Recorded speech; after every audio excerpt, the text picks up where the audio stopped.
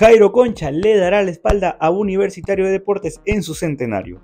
Universitario es una lágrima y hoy por hoy da pena. Amigos del Futbolero Perú, yo soy Aliancista y tocó hablar de que Jairo Concha no llegará a Universitario posiblemente.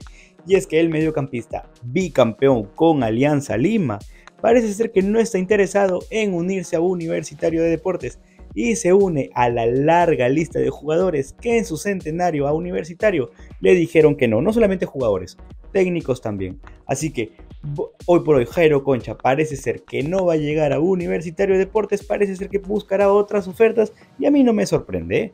A mí no me sorprende porque lo de Universitario de Deportes ha sido bien paupérrimo en tema de gestión. ¿sí? Hizo bien en primero traer un técnico para luego traer los fichajes. Sin embargo, y la verdad de esta historia, es que están empezando muy tarde a hacer su pretemporada.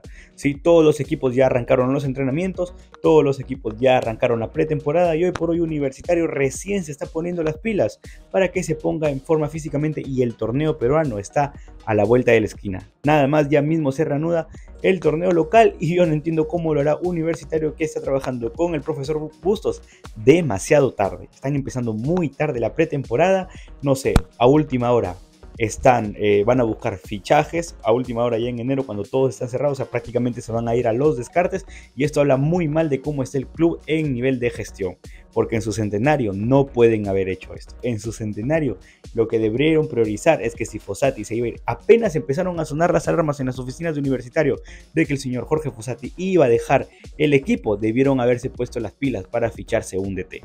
Hoy por hoy el DT va a tener que armar un equipo con jugadores que no han podido conseguir equipo, más no con jugadores que quisieran pedir y que estén a la altura de su centenario. Y es que a mí no me sorprende. Hoy por hoy Universitario no me sorprende porque tiene la mala costumbre de manejarse de esta manera.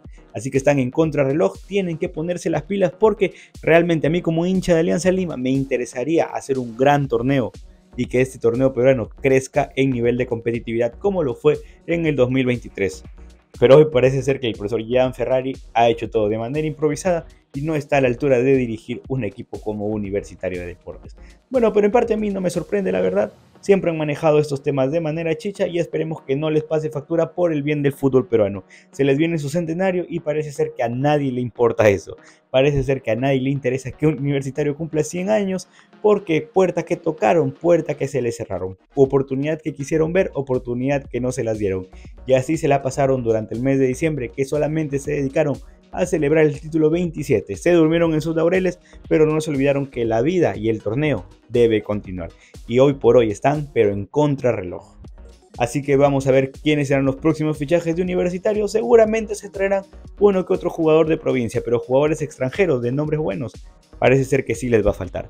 Sin nada más que decir, recuerden que esto fue el Futbolero Perú. Yo soy Alien Sixta y nos vemos en un próximo video.